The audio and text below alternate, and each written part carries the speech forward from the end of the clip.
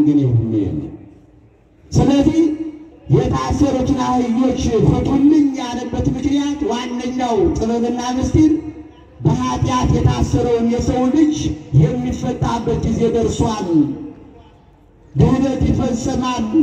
እናንተም ይህንን ቃል ይዛችሁ የታሰሩትን ፍቷቸው የሚል መልእክት ለማስተላለፍ በእርግጥ እግዚአብሔር የታሰሩትን አህዮችን ለጊዜው ከድካመ ሥጋ አሳርፏቸዋል። ሰው እንደምታውቁት ሸካይ ለስ እንኳን ለሰው እንኳን ለእንስሳት ለሰው አያዝንም። በእርግጥ ከእንስሳት አብልጠው ለሰው የሚያዝኑ ሰዎች አሉ። ከእንስሳት ከሰው ደግሞ አብልጠው ለውሻ ለአራዊት የሚያዝኑ ሰዎች አሉ። የሰው ልጅ ከማሳደግ ውሻ ማሳደግ ይሻላል የሚሉ ድምፆች በሰፈራችን በጣም ብዙዎች ናቸው። ሰውን ከሰው ከውሻ አሳንሰው የሚያዩ እውነተኛ ሰዎች ግን አንስተው ለሰው ያዝናሉ። ቀጥሎም ደግሞ ለእንስሳት ለአራዊት ያዝናሉ። እንስሳትም ቢሆን እንዲሰቃይ አይፈለግም። እመቤታችን ደግ የሚያሰኛት እኮ ለተጠማ ውሻ በወርቅ ጫማዋ ውሃ ማጠጣቷ ነው። ርሬተ ልብ እንኳን ለሰው ለውሻ የምታዝን እናት ክብር ላንቺ ይሁን እየተባለች የምትመሰገነው ደጓ እናታችን አይደለም ለሰው ልጅ ለእንስሳት ስለምታዝን ነው። ግን እመቤታችን ለውሻ ስታዝን ሰውን ከውሻ ሳንሳለን ከሰው የተረፈውን ቸርነቷን ለእንስሳትም አውላዋለች። አህዮችንም ወስደው ሌቦች አስረዋቸው ነበረ። እህል አያቀርቡላቸው፣ ሳር አያቀርቡላቸው። እንስሳት በላን እየተቀጡም እግዚአብሔር ይመለከት ነበረ። ለምን እነዚህ የታሰሩ አህዮችን ተርበዋል፣ ተጠምተዋል፣ ያለ ዕዳቸው ሌባ ወስዶ አስሯቸዋል። ለምን ምሳሌ አድርጌ ለሰው ልጅ አላስተምርበትም? በዚያውም እንስሳቱ ከውሃ ጥም ይድናሉ፣ እሳር ይበላሉ፣ የክብሬ መገለጫ ይሆናሉ። በዚያ ላይ ደግሞ ወርቁን የሰው ልጅ ይፈልግባቸዋለሁ ብሎ እንስሳትን ከታሰሩበት አሳረፋቸው። ርኅራኄ ከሌላቸው ሰዎች እጅ ነፃ ወጣቸው። ምን በወጣቸው እንስሳቶች ይሰቃያሉ። እነሱ የተፈጠሩት አገልግሎት ነው። እየበሉ ማገልገል እየቻሉ ወስዶ የሰው ልጅ ግን በድቃቂ ሳንቲም ወስዶ ለመሸጥ አስሯቸው ነበረ። ሌባ ያሰራቸውን አህዮች እግዚአብሔር እንዲፈቱ አዘዘ።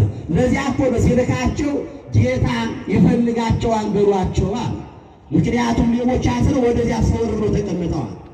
ሌባ ድምፅ የለውም፣ ሞራልም ስለሌለው በርቀት እንኳ ምን እያደረጋችሁ ነው ብሎ ለመጠየቅ ይፈራል። ምክንያቱም ያሰራቸው አህዮች የእሱ አይደሉምና በርቀት ሆኖ ምን ማድረጋችሁ ነው አለ ሌባ። ጌታ ይፈልጋቸዋል በሉት ብለዋልና ጌታቸው ይፈልጋቸዋል። ባለ ንብረቱ የመጣ መስሎት ደነገጠ። በእርግጥም የአህዮች ምድራዊ ባለቤት ሌላ ቢሆንም ፈጣሪያቸው እውነተኛው ጌታቸው ግን እንስሳትን የሁሉ የፈጠረ እግዚአብሔር መጣላቸው። ከባለቤቱማ ደብቋቸው ነበር። አሁንም ዛሬን የሰውን ልጅ እነዚያን አህዮች ሌባ እንደሰረቃቸው ከመላእክት አንዱ የሆነው ዲያብሎስ ሌባው ዲያብሎስ የሰውን ልጅ ከገነት ሰርቆ አውጥቶ እስከ ዛሬ ድረስ በኃጢአት ዓለም አስሮት ይገኛል። አምስት ሺህ አምስት መቶ ዘመን በማይሰራ ኃጢአት አስሮ የገነትን በር አዘግቶ የሲኦልን በር አስከፍቶ ይኸው ሲያሰቃየው አምላክ ከሰማይ ወረደና የታሰራቸው ተፈቷል። ዛሬ የምንታሰረው በፈቃዳችን ነው። የገነት በር ተከፍቷል።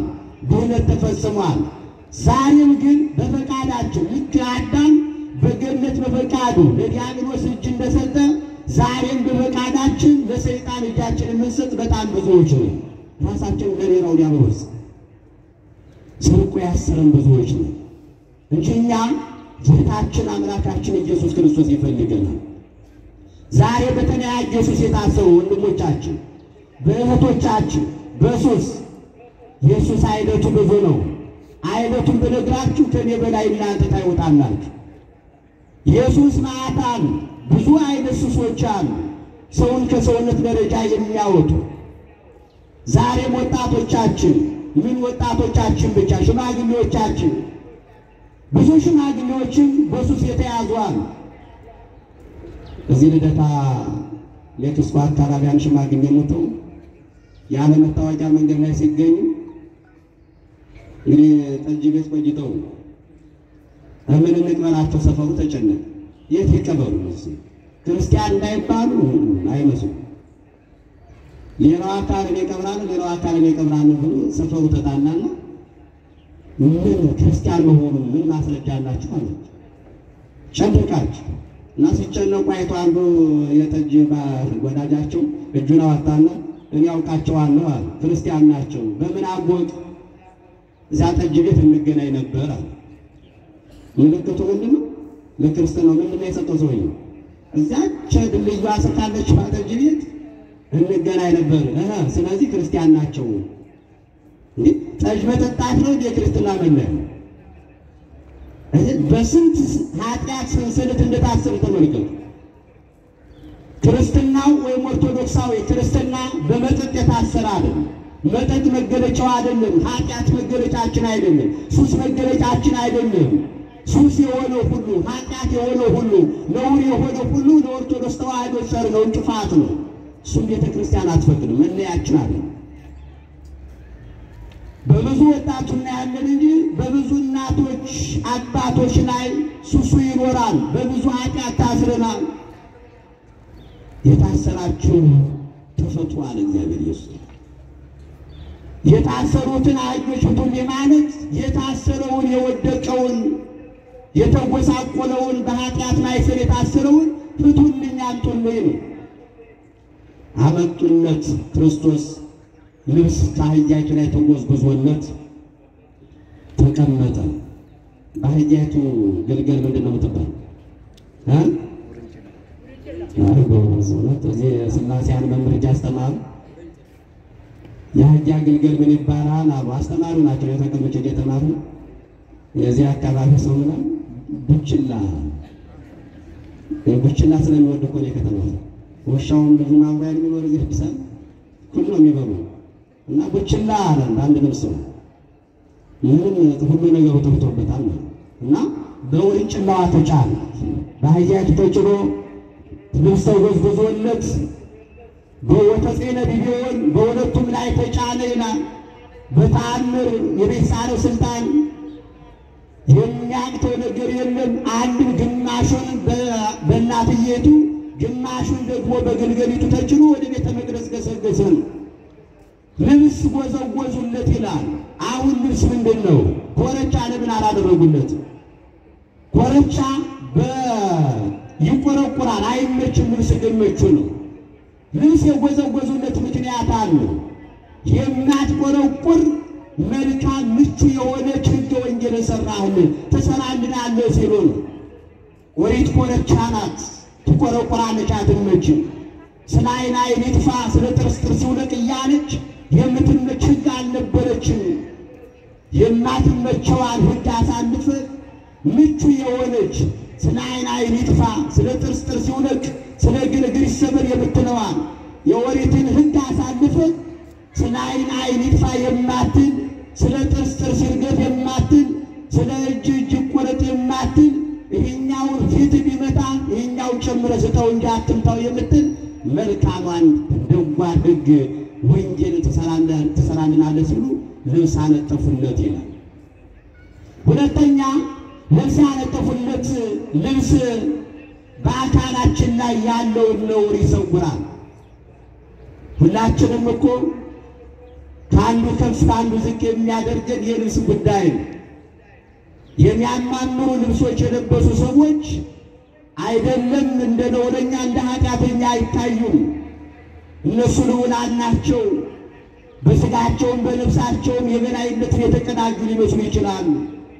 ግን እንደዚያ ያስባላቸው ያስከበራቸው እንደ አባ ገብረሐና ልብስ የሚወርድ በሉት ያስባላቸው ልብሳቸው ነው።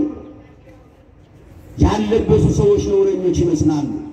ያልነበረሱ ሰዎች ኃጢአተኞች ይመስላሉ። ልብስ መክበሪያና መድመቂያ ነው። በእውነት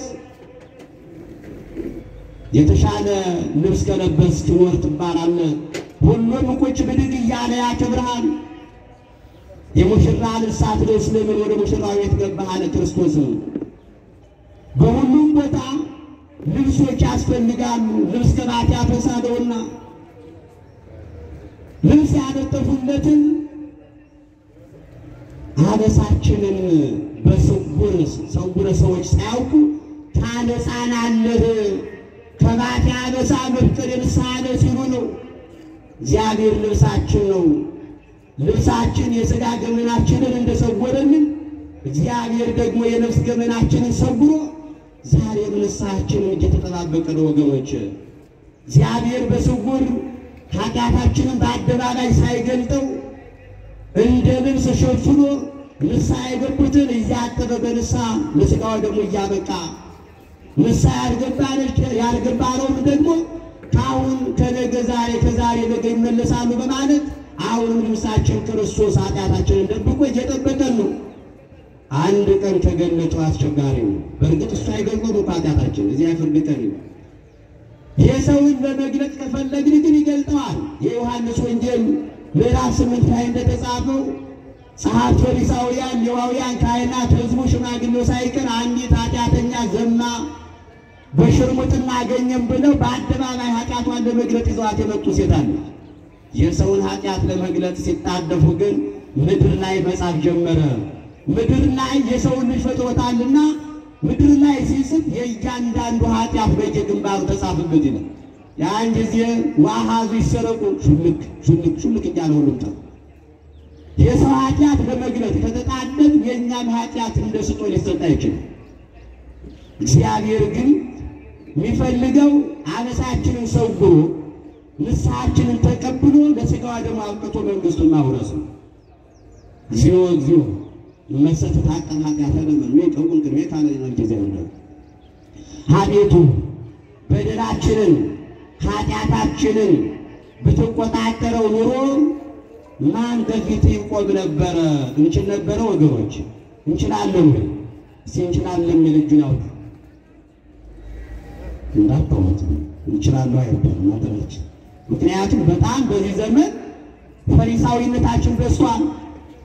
ሁላችን በጣም ባይታውያን፣ ሁላችን ጸሎተኞች፣ ሁላችን የበቃን የነቃን ከእኛ ውጭ ለሐሳብ እነገሌ ናቸው እንጂ እኛማ ለዓለም ብርሃን ሆነን የተፈጠርን ይመስልን ብዙ ሰዎች አሉ። እግዚአብሔር ከዚህ ከንቱ አስተሳሰብ ይጠብቀን።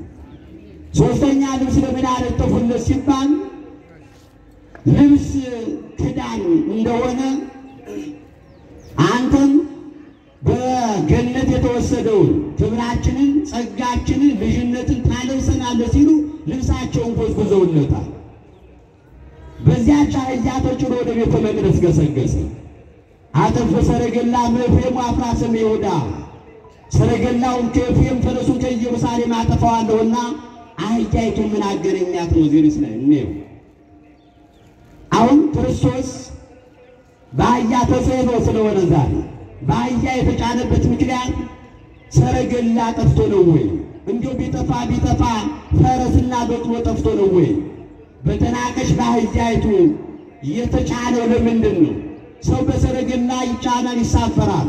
ሰው በፈረስ ሰው በበቅሎ ክብሩን ይገልጣል እንጂ ማን በአህያ ተጭኖ ቢራመደው? ዛሬ አንድ የተከበረ ሰው በእውነት መሀል ከተማ ላይ በአህያ ተጭኖ ሲጓዝ ብናገኘው ምንድን ነው የሚሰማን? እግዚአብሔር እኮ የነገሥታቶች ንጉሥ ነው ኢየሱስ ክርስቶስ። የዓለም ሁሉ ጌታ ግን በአህያ ተጭኖ ወደ ኢየሩሳሌም ከተማ ገሰገሰ። የሚገርም እኮ ነው። እንኳን አንድ የተከበረ ሰው እንኳን አንድ ንጉሥ የሆነ ሰው እንኳን አንድ የነገሥታት ንጉሥ የሆነ አምላክ አንድ ሰው እንደ ተራ ሰው የሚባለው ሰው በእኛ አስተሳሰብ ተራ የምንላቸው ሰዎች እንዲሁ በአህያ ተጭኖ እዚህ ላይ ቢመጣ ምንድን ነው ምን ይደብራናል። እና ክርስቶስን ተመልከቱት። ምንድን ነው በስቲው ሰረገላውን ከኤፍሬም ፈረሱን ከኢየሩሳሌም አጠፋለሁ አለና በአህያ ተጭኖ መጣ። ይህ ምንድን ነው? በአህያ የተጫነበት ምክንያት አንደኛ ትንቢቱ ምሳሌዋል ምስጢራል ትንቢቱ ትንቢተ ዘካርያስ ምዕራፍ ዘጠኝ ቁጥር አስር ላይ የትምህርታችን መነሻ የሆነ አጠፍ ሰረገላም ኤፍሬም አፍራሰነ ይሁዳ ሰረገላውን ከኤፍሬም አጠፋለሁ ፈረሱንም ከኢየሩሳሌም አጠፋለሁ፣ የሰልፉ ቀስ ይሰበራል፣